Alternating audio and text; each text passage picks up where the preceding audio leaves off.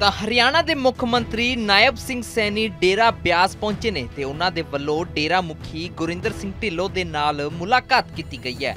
ਤਾਂ ਇਹ ਤਸਵੀਰਾਂ ਸਾਹਮਣੇ ਆਈਆਂ ਨੇ ਜਿੱਥੇ ਹਰਿਆਣਾ ਸੀਐਮ ਵੱਲੋਂ ਡੇਰਾ ਬਿਆਸ ਮੁਖੀ ਦੇ ਨਾਲ ਮਿਲਣੀ ਕੀਤੀ ਗਈ ਤੇ ਗੱਲਾਂ ਬਾਤਾਂ ਕੀਤੀਆਂ ਗਈਆਂ। ਤਾਂ ਦੱਸਦੇ ਕਿ ਸੀਐਮ ਨਾਇਬ ਸਿੰਘ ਸੈਣੀ ਪੰਜਾਬ ਦੇ ਵਿੱਚ ਆਏ ਹੋਏ ਨੇ ਤੇ ਉਹਨਾਂ ਦੇ ਵੱਲੋਂ ਸਿਰ ਤੇ ਦਸਤਾਰ ਵੀ ਸਜਾਈ ਗਈ ਸੀ। ਤਾਂ ਦੱਸਦੀ ਹੈ ਕਿ ਇਸੇ ਸਾਲ ਹਰਿਆਣਾ ਵਿਧਾਨ ਸਭਾ ਚੋਣਾਂ ਹੋ ਸਕਦੀਆਂ ਨੇ ਤੇ ਚੋਣਾਂ ਦੌਰਾਨ ਡੇਰਾ ਬਿਆਸ ਦੇ ਵਿੱਚ ਸਿਆਸੀ ਆਗੂਆਂ ਦਾ ਆਣਾ ਜਾਣਾ ਲੱਗਿਆ ਰਹਿੰਦਾ ਹੈ। ਤਾਂ ਹੁਣ ਹਰਿਆਣਾ ਦੇ ਸੀਐਮ ਦੇ ਵੱਲੋਂ ਡੇਰਾ ਬਿਆਸ ਵਿਖੇ ਮਿਲਣੀ ਕੀਤੀ ਗਈ ਹੈ। ਤਾਂ ਲੋਕ ਸਭਾ ਚੋਣਾਂ ਤੋਂ ਕੁਝ ਸਮਾਂ ਪਹਿਲਾਂ ਹੀ ਮਨੋਹਰ ਲਾਲ ਖੱਟਰ ਨੇ ਮੁੱਖ ਮੰਤਰੀ ਦੇ ਪਦ ਤੋਂ ਅਸਤੀਫਾ ਦਿੱਤਾ ਸੀ, ਜਿਸ ਤੋਂ ਬਾਅਦ ਬੀਜੇਪੀ ਦੇ ਵੱਲੋਂ ਨਾਇਬ ਸਿੰਘ ਸੈਣੀ ਨੂੰ ਮੁੱਖ ਮੰਤਰੀ ਬਣਾਇਆ ਗਿਆ ਸੀ। ਤਾਂ ਹੁਣ ਇਸੇ ਸਾਲ ਵਿਧਾਨ ਸਭਾ ਚੋਣਾਂ ਹੋਣੀਆਂ ਨੇ ਹਰਿਆਣੇ ਦੇ ਵਿੱਚ, ਤਾਂ ਫਿਰ ਤੋਂ ਬੀਜੇਪੀ ਅਤੇ ਨਾਇਬ ਸਿੰਘ ਸੈਣੀ ਚੋਣਾਂ ਨੂੰ ਜਿੱਤਣ ਦੀ ਪੂਰੀ ਤਿਆਰੀ ਦੇ ਵਿੱਚ ਦਿਖ ਰਹੇ ਨੇ। ਤਾਂ ਹਰਿਆਣਾ ਦੇ ਮੁੱਖ ਮੰਤਰੀ ਨਾਇਬ ਸਿੰਘ ਸੈਣੀ ਡੇਰਾ ਬਿਆਸ ਪਹੁੰਚੇ ਨੇ ਤੇ ਉਹਨਾਂ ਦੇ ਵੱਲੋਂ ਡੇਰਾ ਮੁਖੀ ਗੁਰਿੰਦਰ ਸਿੰਘ ਢਿੱਲੋਂ ਦੇ ਨਾਲ ਮੁਲਾਕਾਤ ਕੀਤੀ ਗਈ ਹੈ।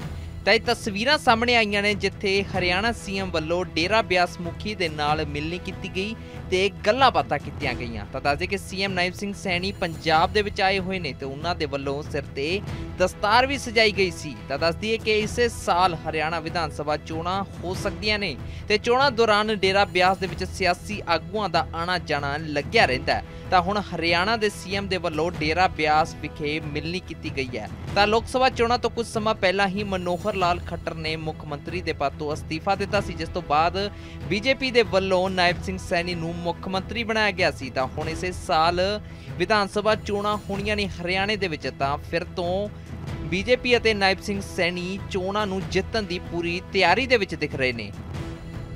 ਤਾਂ ਹਰਿਆਣਾ ਦੇ ਮੁੱਖ ਮੰਤਰੀ ਨਾਇਬ ਸਿੰਘ ਸੈਣੀ ਡੇਰਾ ਬਿਆਸ ਪਹੁੰਚੇ ਨੇ ਤੇ ਉਹਨਾਂ ਦੇ ਵੱਲੋਂ ਡੇਰਾ ਮੁਖੀ ਗੁਰਿੰਦਰ ਸਿੰਘ ਢਿੱਲੋਂ ਦੇ ਨਾਲ ਮੁਲਾਕਾਤ ਕੀਤੀ ਗਈ ਹੈ।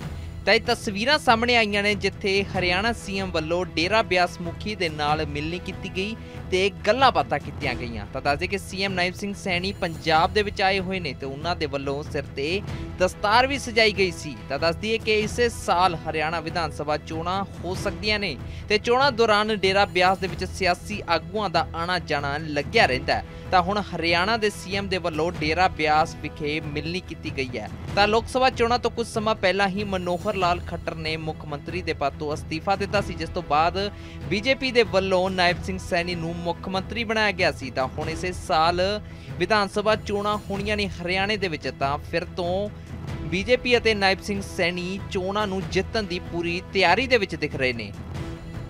ਤਾਂ ਹਰਿਆਣਾ ਦੇ ਮੁੱਖ ਮੰਤਰੀ ਨਾਇਬ ਸਿੰਘ ਸੈਣੀ ਡੇਰਾ ਬਿਆਸ ਪਹੁੰਚੇ ਨੇ ਤੇ ਉਹਨਾਂ ਦੇ ਵੱਲੋਂ ਡੇਰਾ ਮੁਖੀ ਗੁਰਿੰਦਰ ਸਿੰਘ ਢਿੱਲੋਂ ਦੇ ਨਾਲ ਮੁਲਾਕਾਤ ਕੀਤੀ ਗਈ ਹੈ। ਤਾਂ ਇਹ ਤਸਵੀਰਾਂ ਸਾਹਮਣੇ ਆਈਆਂ ਨੇ ਜਿੱਥੇ ਹਰਿਆਣਾ ਸੀਐਮ ਵੱਲੋਂ ਡੇਰਾ ਬਿਆਸ ਮੁਖੀ ਦੇ ਨਾਲ ਮਿਲਣੀ ਕੀਤੀ ਗਈ ਤੇ ਗੱਲਾਂ ਬਾਤਾਂ ਕੀਤੀਆਂ ਗਈਆਂ। ਤਾਂ ਦੱਸਦੇ ਕਿ ਸੀਐਮ ਨਾਇਬ ਸਿੰਘ ਸੈਣੀ ਪੰਜਾਬ ਦੇ ਵਿੱਚ ਆਏ ਹੋਏ ਨੇ ਤੇ ਉਹਨਾਂ ਦੇ ਵੱਲੋਂ ਸਿਰ ਤੇ ਦਸਤਾਰ ਵੀ ਸਜਾਈ ਗਈ ਸੀ। ਤਾਂ ਦੱਸਦੀ ਹੈ ਕਿ ਇਸੇ ਸਾਲ ਹਰਿਆਣਾ ਵਿਧਾਨ ਸਭਾ ਚੋਣਾਂ ਹੋ ਸਕਦੀਆਂ ਨੇ ਤੇ ਚੋਣਾਂ ਦੌਰਾਨ ਡੇਰਾ ਬਿਆਸ ਦੇ ਵਿੱਚ ਸਿਆਸੀ ਆਗੂਆਂ ਦਾ ਆਣਾ ਜਾਣਾ ਲੱਗਿਆ ਰਹਿੰਦਾ ਤਾਂ ਹੁਣ ਹਰਿਆਣਾ ਦੇ ਸੀਐਮ ਦੇ ਵੱਲੋਂ ਡੇਰਾ ਬਿਆਸ ਵਿਖੇ ਮਿਲਣੀ ਕੀਤੀ ਗਈ ਹੈ। ਤਾਂ ਲੋਕ ਸਭਾ ਚੋਣਾਂ ਤੋਂ ਕੁਝ ਸਮਾਂ ਪਹਿਲਾਂ ਹੀ ਮਨੋਹਰ ਮਨੋਹਰ ਲਾਲ ਖੱਟਰ ਨੇ ਮੁੱਖ ਮੰਤਰੀ ਦੇ ਪਦ ਤੋਂ ਅਸਤੀਫਾ ਦਿੱਤਾ ਸੀ, ਜਿਸ ਤੋਂ ਬਾਅਦ ਬੀਜੇਪੀ ਦੇ ਵੱਲੋਂ ਨਾਇਬ ਸਿੰਘ ਸੈਣੀ ਨੂੰ ਮੁੱਖ ਮੰਤਰੀ ਬਣਾਇਆ ਗਿਆ ਸੀ। ਤਾਂ ਹੁਣ ਇਸੇ ਸਾਲ ਵਿਧਾਨ ਸਭਾ ਚੋਣਾਂ ਹੋਣੀਆਂ ਨੇ ਹਰਿਆਣੇ ਦੇ ਵਿੱਚ, ਤਾਂ ਫਿਰ ਤੋਂ ਬੀਜੇਪੀ ਅਤੇ ਨਾਇਬ ਸਿੰਘ ਸੈਣੀ ਚੋਣਾਂ ਨੂੰ ਜਿੱਤਣ ਦੀ ਪੂਰੀ ਤਿਆਰੀ ਦੇ ਵਿੱਚ ਦਿਖ ਰਹੇ ਨੇ।